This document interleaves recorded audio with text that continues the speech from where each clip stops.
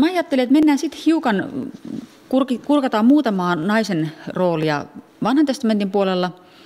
Itse asiassa mä taisin valita tähän tota, nyt, nyt lähinnä, lähinnä tota, yhden tälleen erikseen ja sitten muutaman tolleen kootusti. Eeva on, on tietysti siellä tota, raamatun alkulehdillä se, joka ensimmäisenä nimeltä mainitaan, joka on naishahmo.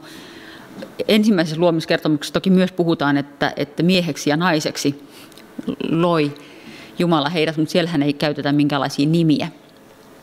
Monille on tuttu tämä tota, Siksuksten kappelin maalaus Sikermä, jossa on, on luominen.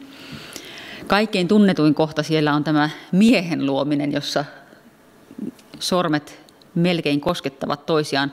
Ja sen vieressä on, on kuva naisen luomisesta, jossa, jossa sitten tämä mieshahmo nukkuu ja sieltä hänen ikään kuin sisältään nousee tämmöinen naishahmo. Eevan tarinahan ei ole mikään tämmöinen historiallinen tarina, eikä, eikä sitä ole pitkään aikaan kukaan yrittänytkään selittää niin päin. Mutta, tota, mutta se on ikään kuin tämmöinen niin kuin tarina, joka selittää sitä, minkälaista elämä on. Se selittää yhtäältä sitä, miten, miten tämä niin kuin miehestä, miehen kylkiluusta luominen, miten se, ikään kuin se, miksi se liitos on niin vahva, miksi se veto toista ihmistä kohtaan nainen, naisen ja miehen välillä on niin vahva. Että se jotenkin se Aatamin tota, huudahdus siinä, että tämä on luu minun luustani ja liha minun lihastani. Tosin sitä ei ole käännetty sitä luusanaa siihen, siihen käännökseen, mutta se on siellä, siellä kuitenkin niin olemassa. Ja sitten se ajatus sit kylkiluusta, joka, joka tota, ikään kuin on se niin kuin vahva jotenkin tämmöinen fyysinen side. Ja sitten kun puhutaan tästä niin kuin luomisesta, niin siinäkin myös käytetään semmoista niin kuin ilmaisua, joka tarkoittaa niin kuin vertaista – et, tota, se kumppanin, joka sopii hänen avukseen, niin tota, vaikka siinä on se sopia avuksi, niin kuin ilmaisu käännöksessä, niin, niin se apulainen ei ole tässä mikään semmoinen alisteinen apulainen, vaan sitä samaa, samaa niin kuin ilmaisua käytetään myös tämmöisistä hyvin niin kuin tasaväkisistä niin kuin kumppaneista muualla vanhassa testamentissa. Ja se, joka sopii avuksi, niin sitä ilmaisua käytetään jopa Jumalasta. Eli se ei ole todellakaan semmoinen ilmaisu, joka nimenomaan tarkoittaa, että joku on alempiarvoinen vaan se ikään kuin asettaa nämä kaksi luotua toistensa kanssa niin kuin tasaveroisiksi kumppaneiksi. Toisaalta sitten taas mä ajattelen, että se lankeemiskertomus, mikä sitten seuraa tätä luomiskertomusta, niin se omalta osaltaan selittää sitten sitä, miksi asiat tässä maailmassa ovat, ovat niin kuin ovat. Miksi on, miksi on niin tuskallista synnyttää ja, ja miksi, miksi siihen liittyy paljon vaivaa ja miksi tässä nämä valtarakenteet ei olekaan nyt niin ideaalit. Mutta se on ikään kuin tämmöinen niin kuin elämän kokemusten heijastaminen siihen tarinamuotoon, mistä, mistä meille Eevan tarina kertoo. Mutta näitä naishahmoja on tosi paljon, ja mä ajattelin, että tehdään niin, että, että sen sijaan, että mä juoksisin läpi, läpi niistä kymmenen, niin mä nostan tähän niin kuin, ikään kuin tämmöisen hiukan yleisemmän teeman, että jos, jos yhteiskunnassa miehillä oli se virallinen valta – niin naisilla sen sijaan on ollut kautta historian keinonsa vaikuttaa. Joko niiden virallisten rakenteiden puitteissa tai niiden ohi, sivusta, alta. Tässä on nyt tämmöinen muutama, muutamia kuvia, missä näkyy joitakin esimerkkejä. Jos me katsotaan tota vasenta yläkulmaa, niin siinä näkyy, näkyy tota Haagarin ja Ismailin karkotus. Ja taustalla näkyy tietysti Saara matriarkkana joka tämän karkotuksen saa aikaan. Ja tämä karkotushan ei ole, ei ole mikään ihan läpihuutu juttu niin kuin siinä yhteiskunnassa, jossa naisen ja lapsen karkottaminen autiomaahan tarkoittaa varmaa kuolemaa, mikä ei tällä, tällä, tässä tarinassa toteudu. Mutta sehän on hyvin epäinhimillinen niin kuin ajatus. Ja se, että, että tämä patriarkka suostuu tämän tekemään, niin johtuu siitä, että hänen vaimonsa saa sen aikaan. Eli Saaralla on ollut hyvinkin vahva vaikutusvalta tässä tarinassa – noin niin kuin eettisestä näkökulmasta voisi kysyä, että, että, että ei ehkä ihan reilu, mutta, mutta se kertoo jotain siitä niin kuin vaikuttamisen tavasta. Ja tämän tyyppisiä kertomuksiahan meillä on siellä niin kuin tämmöisissä patriarkka- ja matriarkka-kertomuksissa paljon. Siellä on näitä tämmöisiä, että minun, minun lempipoikani ohittaa nyt tämän is- isoveljensä perimysjärjestyksessä tyyppisiä asetelmia ja siitä, että kuka menee kenenkin kanssa naimisiin ja, ja näin, joissa sitten tavallaan nämä matriarkat ikään kuin saavat tahtonsa läpi, vaikka heillä ei virallista päätäntävaltaa olisi ollutkaan. Sitten täällä, täällä tota, siellä näkyy tämän vieressä ylhäällä kuningas David hyvin keskiaikaisessa asussa, asussa ja hänen edessään sitten Batseba polvistuneena. Ja sitten tota, tämä on näitä, näitä muita hovin, hovin viihdyttäjänaisia, todennäköisesti tämä taustalla oleva nainen. Mutta jotenkin tämä asetelma siitä, miten Batseba esimerkiksi niin kun saa oman poikansa perimysjärjestyksessä ylemmäs, niin siinähän myöskin käytetään, käytetään hyvin niin vahvasti tämmöistä niin neuvottelua ja puolelle puhumista. Että Salomohan ei ollut se vanhin kuninkaan poika, jonka olisi virallisesti ehkä pitänyt saada, saada kruunun perimys, mutta, tota, mutta tässä, tässä kohtaa Batseba käyttää myöskin valtaa. Sitten siinä Batseban ja Davidin alapuolella nähdään toi Simpson ja Delila, ja siellä näkyy sakset, kohtalokkaat sakset siellä sankarin selän yläpuolella. Tässä taas voidaan ajatella, että vaikutusvalta on ollut hyvinkin tämmöistä niin kuin eroottissävytteistä. Sitten meillä on alakulmassa toisella puolella on, on Jael, Deboran ja Jaelin sankaritarina Tuomarien kirjasta on ehkä monelle tuttu. Siellähän varsinainen, niin siellä on tavallaan kaksi naissankaria. On Debora, joka on ikään kuin tämmöinen niin kuin johtaja ja profeetta, ja sitten on tämä Jael, joka, joka tämän niin kuin vastustajan houkuttelee telttaansa tarjoamalla hänelle juotavaa ja lepopaikan ja vaarnan otsaan ja sitten israelilaiset voittavat, koska, koska vihollispäällikkö on, on kuollut. Ja sitten taas tässä tota, toisessa laidassa meillä on Ruut ja Boas tuolla tota, viljapellolla. Ruuthan taas on, jos ajatellaan tätä, tätä naisjoukkoa, joiden vaikutus, vaikutusvalta asetelmiin liittyy vähän tämmöisiä eettisiä kysymysmerkkejä, niin, niin Ruuthan on tässä kohtaa tämmöinen niin kuin puhtoisempi esimerkki siitä, että hän on siis muukalaisnainen. Mutta hän omaksuu tämän Israelin uskonnon ja, ja osoittautuu sekä kelvolliseksi työntekijäksi siellä pellolla, mutta myöskin ikään kuin antautuu sitten tälle Boaksen niin kuin vaikutusvallalle sitten tulevan puolison merke, niin kuin tulevaksi puolisoksi. Hän on ehkä ollut tämmöinen enemmän niin kuin, hahmo, jossa yhdistyy sekä tämä tämmöinen niin kuin, toimelias ja aikaansaapa rooli, mutta myös tämä tämmöinen niin kuin olen, olen jonkun vallan alla, siihenkin suostuva rooli.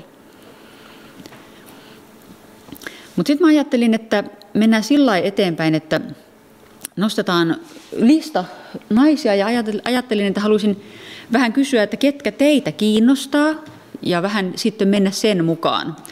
Meillä on, se raamatussahan on, vaikka siellä on miehiä enemmän kuin naisia, niin, niin kyllä sinne toki on paljon naisiakin mahtunut aina sieltä luomiskertomuksen Eevasta, kaiken elävän äidistä, sinne ilmestyskirjan Morsiammeen, joka on siis Jerusalem Morsian. Että näitä feminiinikuvia on paljon muitakin kuin sit ihan niin kuin henkilöhahmoja. On siellä, ilmestyskirjassa on toki myöskin Babylon porttohahmona hyvin niin kuin vahvasti esillä joissakin kohti. Ja jotenkin se, että nämä naishahmot on myös hirveän värikkäitä. Että niissä on monenlaista. Osa, osa näistä naishahmoista on hyvin tavallaan niin kuin ohuesti piirrettyjä. Kaikilla ei ole ollenkaan nimiäkään. Mutta sitten on näitä, joilla on niin kuin vahvempi rooli. Meillä on, meillä on liuta näitä paimentolaissukujen matriarkkoja. Saara, Rebekka, Raakel, Lea, sieltä näin esimerkkinä. Sitten meillä on, meillä on näitä orja-naisia. Meillä on se Haagar, johon mä aina koen vahvaa sympatiaa. Sitten meillä on Bilha ja Silpa, jotka liittyy tähän Raakelin ja Lean kisaan siitä, kumpi saa niitä lapsia. Sitten meillä on nimetönkin orjatyttö, jolla on kuitenkin aika paljon toimijuutta kuninkaiden kirjassa. No sitten meillä on niitä hovinnaisia. Aina sieltä tota, Joosef-kertomuksista, Potifarin vaimosta, kuningattariin niin kuin Batseba, joka on tämmöinen vähän ambivalentti hahmo. Sitten meillä on siellä Isabel tai Atalja, jotka on tämmöisiä niin kuin, pahoja kuningattaria. Sitten meillä on Ester, joka on taas tämmöinen niin kuin hyvä kuningatar. Esterin kirjassa tosiaan on sitten taas semmoista niin kuin uskonnollista materiaalia hyvin, hyvin vähän. Ja sitten meillä on esimerkiksi tota, ää, ää, no, mennään eteenpäin. Profeettoja. Mirjam mainitaan profeetaksi aika ohuesti jossain kohtaa, mutta sitten meillä on Mirjamin laulu, joka on myös tämmöinen niin profeetallinen, vähän samaan tapaan kuin, kun meillä on Hannan laulu ja sitten Marian kiitosvirsi. Niin niissä on sam- samantyyppisiä elementtejä. Sitten meillä on tämä Debora, sitten meillä on Hulda, joka on vanhan testamentin profeetosta niitä harvoja, jotka mainitaan myös nimeltä. Ja sitten meillä on Hosea, Hosean vaimo, joka mainitaan, mutta, mutta ei ehkä niin myönteisessä valossa. Hän, on, hän mainitaan lähinnä tuon ammattinsa prostituoidun kautta, mutta nimeltä. No sitten meillä on muukalaisia, niin kuin Ruut. Ja sitten taas toisaalla meillä on Esran kirjassa mainitaan tämmöiset nimettömät muukalaisvaimot, jotka niin kuin on paha juttu ja heidät pitää karkottaa. Ja tämä on myös semmoinen kohta, missä mä jotenkin mun aina sydän särkyy, että, että mitä pahaa nämä, nämä niin kuin vaimoksi otetut niin kuin naiset ja heidän lapsensa, mitä pahaa he on tehneet, että heidät täytyy nyt sitten karkottaa, jotta, jotta Israelin kansa puhdistetaan tällä tavalla. He on jotenkin, tuntuu musta jotenkin aina hyvin raalta. No sitten Uuden testamentin puolella meillä on, on naishahmoista ehkä se niin kuin tutuin on Jeesuksen äiti Maria. Sittenhän Jeesuksella on myös sisaria, joista me ei tiedetä mitään muuta kuin, että heitä oli. Marian rooli tai Marian hahmo siellä evankeliumissa ei ole kauhean suuri, se jää aika pieneksi. Ja sitten taas toisaalta niin kun Maria mainitaan sekä ihan alussa että sitten siellä ristillä. Että siellä niin tavallaan on jotain, mutta et aika vähän siitä me tiedetään. Sitten me tiedetään, että opetuslasten joukossa on ollut naisia. Ei siinä ihan siinä 12 ikään kuin minitiimissä, mutta kun Jeesuksen seuraajina on ollut tämmöistä niin kulkevampaa joukkoa, niin siihen joukkoonkin on liittynyt naisia, joista osa me tiedetään nimeltä ja osa, osa niin kuin ei. Ja sitten toinen ikään kuin setti naisia, jotka liittyy Jeesukseen, on sitten nämä Jeesuksen kohtaamat naiset. Näistä on tässä ollut puhettakin useamman kerran. Ja, ja jotenkin se, nämä tämmöiset keskustelut, joita Jeesus käy naisten kanssa, tai naiset, joita Jeesus parantaa, niin tota, osa heistä jää toki nimettömiksi. Ja sitten meillä on varhaisissa kristityissä myöskin nimeltä mainittuja naisia, osa heistä mainitaan myös nimeltä. Nämä näkyy vahvemmin Paavalin kirjeissä. Siellä, siellä näkyy esimerkiksi Dorkas ja Junia, jota Paavali sanoo apostoliksi, ja sitten on Priska. Ainakin Priska ja Dorkas on selkeästi tämmöisiä niin varakkaita naisia, jotka ovat voineet niin kuin tukea sitä varhaista kristillistä yhteisöä. Sitten meillä on ne varhaiset kristilliset kirjamateriaalit, jossa nimenomaan naisen roolia pyritään jo pienentämään. Meillä on, meillä on siellä nämä tämmöiset, että, että nainen vaietkoon seurakunnassa maininnat, jotka on sitten niinku aika vaikea yhdistää näihin tämmöisiin niinku Paavalin kirjeissä heijastuviin aktiivisiin naisiin, joita myös on. Paavalihan myöskin mainitsee jossain kohtaa, että, että, että jotta seurakunnassa pysyy järjestys, niin, tota, niin esimerkiksi profetoivan naisen tulisi pitää niin kuin hiuksensa peitettynä No profetoiva nainen todennäköisesti ei ole vaiennut seurakunnassa, mutta tavallaan siinkin näkyy se, että, että Paavalin maailmassakin on rajoituksia ja sitten, että okei, että voit profetoida ja sitten täällä täytyy pysyä järjestys ja yhteiskunnan niin kuin, mukainen järjestys, mutta tavallaan semmoinen niin kuin, naisen toiminta-ala näyttäytyy niin kuin joissain kohti isompana ja sitten taas joissain kohti se niin kuin selvästi näyttää, että se pienenee. Mutta tämä nyt tämmöisenä niin kuin vähän laajahkonnon listana, eikä ole ollenkaan tyhjentävä lista myöskään. Varmasti keksitte, keksitte lisää hahmoja. mä ajattelin vähän tämmöisenä niin kuin, ikään kuin inspiraation lähteeksi tämän listan teille kertoa. Sitten mä haluaisin haastaa taas teitä valitsemaan jonkin itseäsi kiinnostava, valitse jokin itseäsi kiinnostava raamatullinen hahmo. Ja mieti, että mikä hänessä on kiinnostavaa, mikä hänessä on kiehtovaa. Voit yrittää palauttaa mieleen, että mitä hänestä kerrotaan ja myöskin ehkä, että mitä ehkä on jäänyt kertomatta.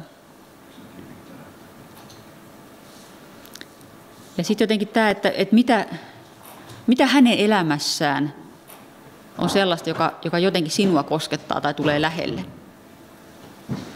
Jos voisit kysyä häneltä jotain, niin, niin mitä kysyisit?